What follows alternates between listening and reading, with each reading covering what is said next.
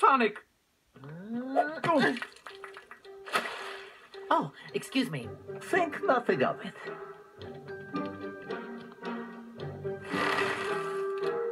Hmm.